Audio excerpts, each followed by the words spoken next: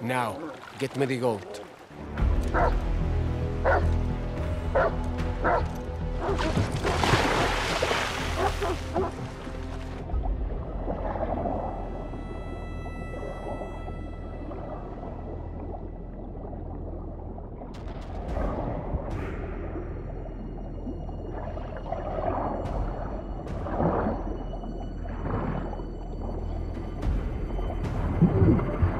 Hmm.